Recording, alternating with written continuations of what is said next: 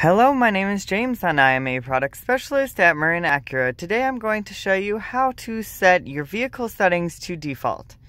So I am going to press settings and look at the top screen. I am going down to vehicle settings.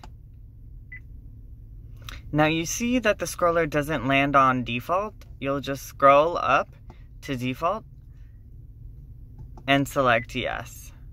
And that's how you get your vehicle settings to become default in a 2020 Acura MDX.